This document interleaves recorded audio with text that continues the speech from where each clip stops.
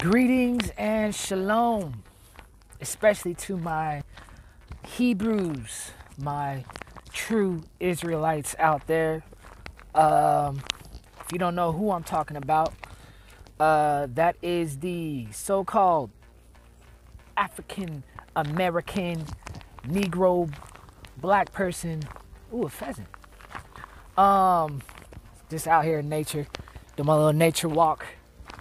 I uh, just wanted to, uh, I wanted to talk about something. I wanted to talk about being awakened and what I feel they, the spirit, the Ruach, Ruach Ha Kadesh, to be exact, um, has been putting on my, on my spirit, uh, to just share this little thing. It's gonna be just a little short video. It's just something I want to say, you know. Um, so hopefully it blesses you as it has blessed me. Um, anyway, here we go. So, the awakening, or being awake, or woke, or you know, just waking up in general. Um, I just want to say, you know, um, if you have been rudely awakened, it's probably because when somebody tried to politely uh, wake you up, you didn't open your eyes. Let, let that sink in just for a couple of seconds. Um, there's essentially two worlds, okay? We have the seen and the unseen. Lucifer was casted out of the unseen into the natural realm, the seen world. So he operates mainly in 3D. If you didn't know that already. Um this is, you know, this is people, places, uh, you know, TV, media, um, the what I like to call the right now realm, where um, you know where you have the your five senses are all on alert, uh, taste, touch, see, feel, smell. Uh, this is that world that Satan was casted down into. So then we have Yahuah, who operates in the unseen realm primarily. Okay, so he is an invisible God with physical attributes. So the scriptures say that this invisible God, Yahuah, um, created the physical world to show or manifest his nature that is invisible. All kind of rodents out here and stuff. It's interesting nature out here. Um, so here's my point. Trusting in things that you see is trusting in the world that Lucifer uh, primarily operates in. Uh, let me say that again. Trusting in, in this world, the things that you could taste, till, uh, feel, touch, see, smell. Trusting in that is trusting in Lucifer's world. Um, now, that means that you're in a sleep state. Okay? Keep following me. Being awakened can come in two forms, like I mentioned before. The first being gently touched on your shoulder, you know, a slight whisper, hey, wake up. Uh, you know, it's time to go.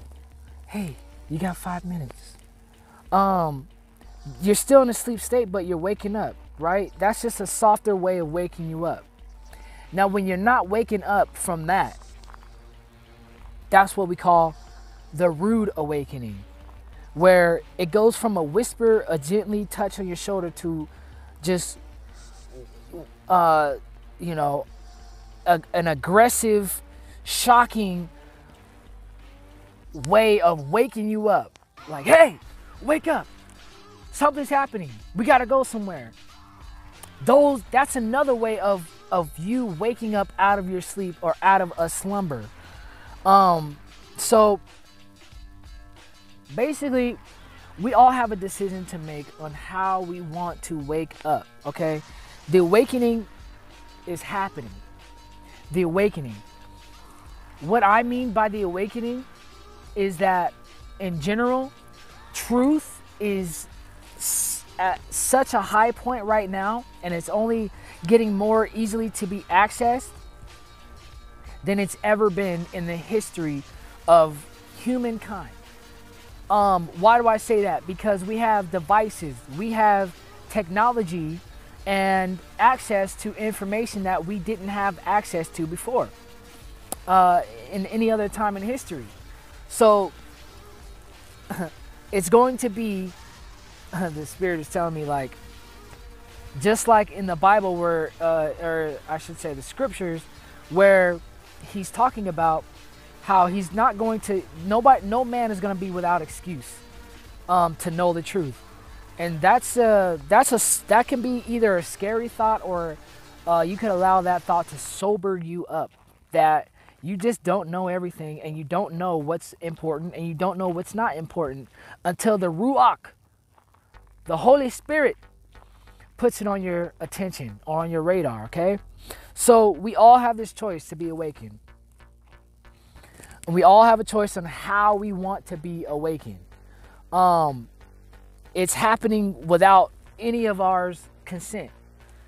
It's it's not up to us to be to be awakened. Uh, that's what a rude awakening is. That's why it's so rude because it wasn't our decision to be woke up. Um, so I want to talk about Yahuah's mercy. I just want to touch on that. Um, it has an expiration date. All right. Yahuah's mercy has an expiration date to those who continue to sleep. Like you, you're getting woken up and you're like, leave me alone, just let me go back to sleep. It's comfortable, it's warm, this bed is warm, it's cold outside. I know for a fact that the Ruach is is uh, quietly whispering in the ears of all the inhabitants of this great earth that we live in. But like always, it's a choice. It's a choice to to heed his voice. So I'm gonna end it on that. Kept it short, somewhat. Uh, you know, like always, follow the truth, hear the truth, and let it set you free. Shalom.